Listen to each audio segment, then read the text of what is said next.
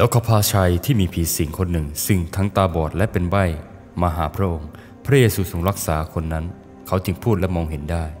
คนทั้งปวงก็ประหลาดใจและพูดกันว่า เป็นไปได้ไหมที่คนนี้คือบุตรดาวิดแต่เมื่อพวกฟาริสีได้ยินก็พูดว่า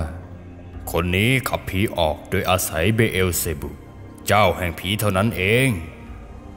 พระเยซูทรงทราบความคิดของพวกเขาจึงตรัสกับพวกเขาว่า ทุกๆอาณาจักรที่แตกแยกกันเองย่อมถูกทำลาย และทุกๆบ้านเมืองหรือครัวเรือนที่แตกแยกกันเองย่อมตั้งอยู่ไม่ได้ แล้วมีบางคนในพวกฟาริสีและธรรมจารย์มาทูลพระองค์ว่า ท่านอาจารย์ เราอยากเห็นหมายสำคัญจากท่าน พระองค์ตรัสว่า คนในยุคที่ชั่วร้ายและทรยศต่อพระเจ้าขอแต่หมายสำคัญ แต่เขาจะไม่ได้รับหมายสำคัญอื่น ยกเว้นหมายสำคัญของผู้เผยพระวจนะโยนา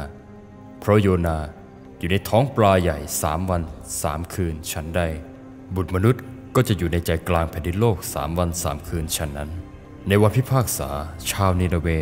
จะยืนขึ้นพร้อมกับคนในยุคนี้ และกล่าวโทษพวกเขา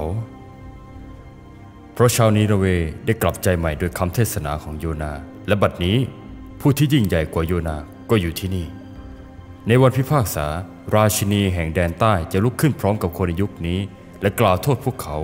เพราะพระนางมาจากสุดโลกเพื่อรับฟังสติปัญญาของโซโลมอน และบัดนี้ผู้ที่ยิ่งใหญ่กว่าโซโลมอนก็อยู่ที่นี่ เมื่อวิญญาณชั่วออกจากผู้ใดแล้ว มันก็ไปทั่วถิ่นแล้งแสวงหาที่พักและไม่พบ มันจึงว่าข้าจะกลับไปยังบ้านที่ข้าจากมา